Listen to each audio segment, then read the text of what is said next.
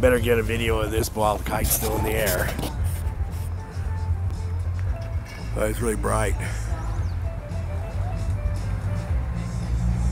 Well, how long is gonna last? Excuse me, and we got Castle Rock. James is gonna try to fly his Rev in the short lines here in the pavilion for the Mary Poppins.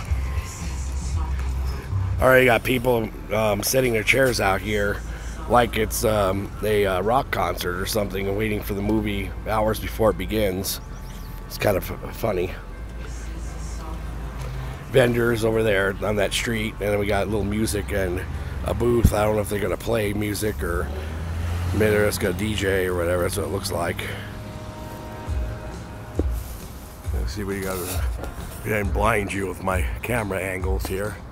I can't even see the screen to see what I'm taking.